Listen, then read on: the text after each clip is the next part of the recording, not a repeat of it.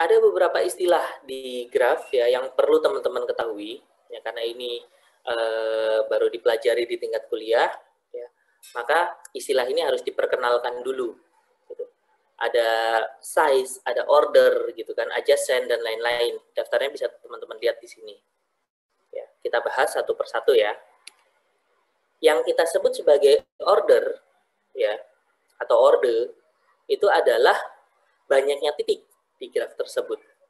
Gitu. Jadi kalau kita punya graf yang uh, ada lima titik atau ada empat titik kayak graf contoh yang sebelumnya, kalau ada empat titik berarti ordernya empat. Gitu. Kalau ada lima titik ya ordernya lima. Ya. Kita bisa simbolkan banyaknya titik itu dengan ini kardinalitas dari himpunan V. Ya, kardinalitas make garis bracket di e, nama himpunannya kan. Atau kita juga bisa pakai simbol V kecil G. G ini grafnya, V kecil ini simbol untuk banyaknya vertex. Gitu. Banyaknya vertex dari G adalah berapa? Itu sama seperti ordernya dari graf tersebut. Kalau size, kalau ukuran, itu apa? Kalau ukuran kita lihat dari banyak sisinya kita simbolkan pakai uh, himpunan E, kita lihat kardinalitasnya. Ya. Banyaknya anggota dari himpunan E atau EG. Gitu. E-nya ini agak lengkung, ini E epsilon, ya, untuk menunjukkan H-nya. Gitu. Banyak sisi pada graf. Jadi kalau kita uh, lihat latihan kemarin, ya berapa ukuran dari graf tersebut? Berapa uh, order dari graf ini?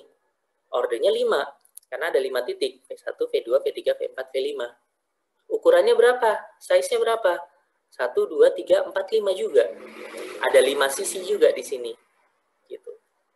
Ya, jangan ketukar order dan ukuran. Order itu titik, ukuran itu sisi.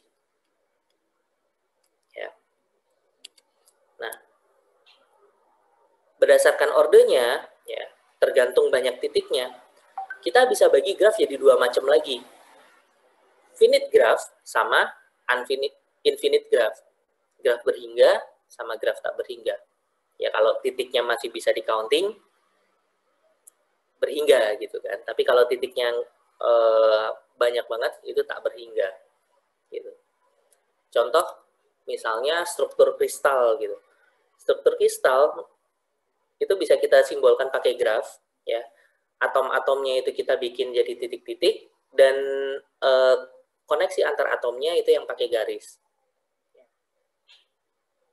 Eh, diamond diamond itu apa? Berlian ya intan. Intan itu eh, apa namanya? Dia sebenarnya kan karbon kan? Ya kan? Karbon cuma strukturnya struktur kristal.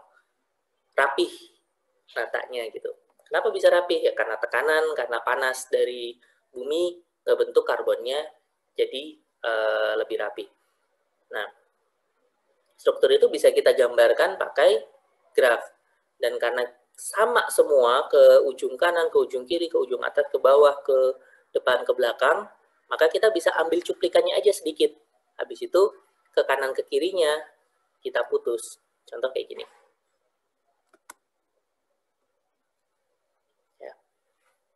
Ini misalnya struktur karbonnya. Ya.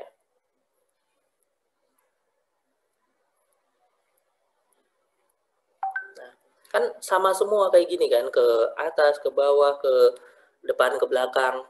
Ya. Koneksi satu karbon terhubung dengan empat karbon lainnya, misal. Ya. Maka ke kanannya bisa kita lanjutkan seperti ini. Nah, ini gra jadi graf tak berhingga nih. Karena di sana di sebelah sana ada titik-titik yang lain, di sana ada titik-titik yang lain dan seterusnya. Gitu. Ya. Kalau graf berhingga ya grafnya bisa kita gambarkan.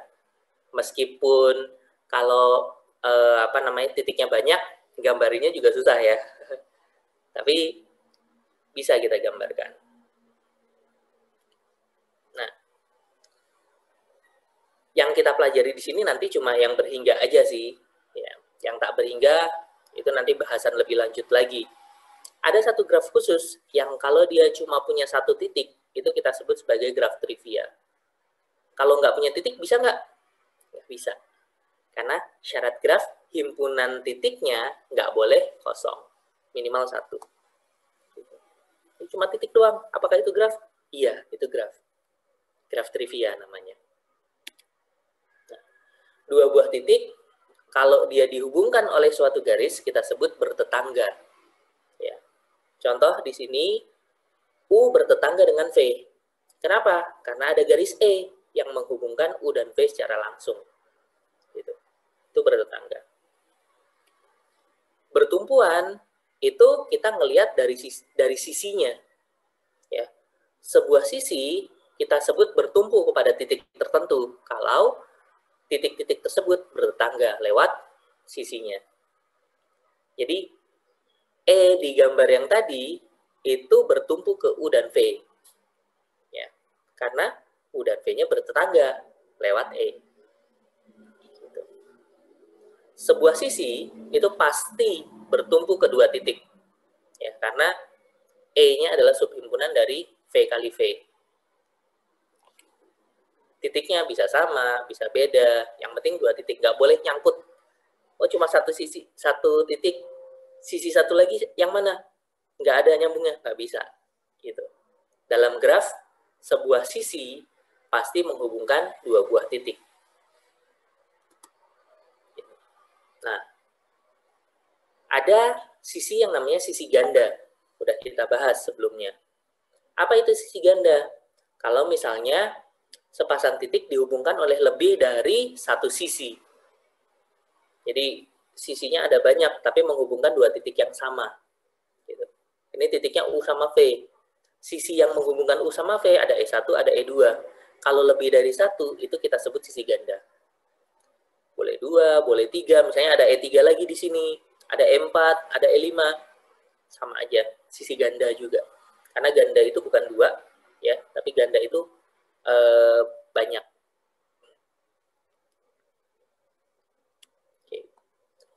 gelang atau loop itu adalah sisi yang bertumpu ke titik yang sama. Ya. Jadi kalau ada suatu sisi yang ujung kiri dan ujung kanannya sama titiknya, itu kita sebut sebagai gelang atau loop atau kalung. Ya. Nah, istilah selanjutnya adalah derajat. Apa itu derajat? Ya. Derajat itu kita terapkan ke titik pada graf. Derajat dari titik V ya, kita bisa simbolkan sebagai dek V. Dek ini dari degree ya, degree V itu adalah banyaknya sisi yang bertumpu ke titik tersebut. Gitu. Jadi ada berapa banyak sisi yang nempel ke titik tersebut, itu derajatnya. Ya, kalau misalnya ada loop, loop itu dihitung dua. Ya, sisi yang ujung sama sisi yang pangkalnya. Itu dua. Pada graf, kita bisa lihat derajat maksimal dan derajat minimalnya. Derajat maksimal kita simbolkan pakai delta G. Ini delta besar ya, delta kapital. Itu adalah derajat terbesar dari titik-titik pada graf G. Kalau derajat terkecilnya kita simbolkan pakai delta G juga, cuma deltanya delta kecil. Di sini kita punya contoh ada graf ya, kita sebut graf ini graf X lah. Graf X terdiri dari 1 2 3 4 5 5 titik dan graf X terdiri dari 1 2 3 4 5 6 6 sisi. ya. Berarti ordenya 5, ukurannya 6. Derajatnya berapa? Ya, titik A itu cuma ada satu sisi yang nempel di titik A. Maka degree A kita tuliskan seperti ini itu sama dengan satu. B berapa? B ada 4 titik. Degree B 4. Ada 4 sisi yang nempel di titik B kan? 1, 2, 3, 4. Ya kan? Nah, C, C ada 3. 1, 2, 3. Ya, maka degree C sama dengan 3. Degree D 2. Degree E 2. D, D besar ya. 2. Degree E 2. Nah, derajat maksimal, derajat minimalnya berapa? Tinggal kita lihat. Yang paling tinggi apa? Oh ini, ada 4. Yang paling kecil, 1. Berarti, ya, delta G itu 4. Ya, banyak derajat terbesarnya ya, ter, terbesarnya ya, bukan titiknya. Delta G itu adalah 1. Derajat terkecilnya, bukan titiknya Meskipun ini titik B, ini titik A, yang kita tuliskan adalah angkanya. Paling besar berapa sih? Paling kecil berapa sih? Kayak gitu.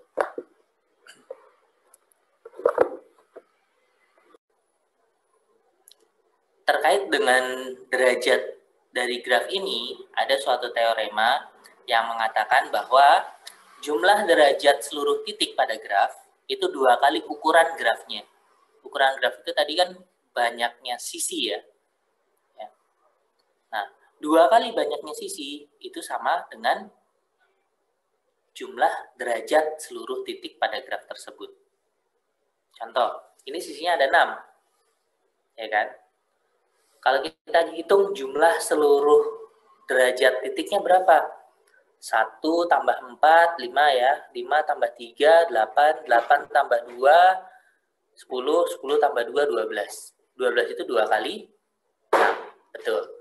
Ya graf lain juga pasti akan memenuhi ini. Kenapa?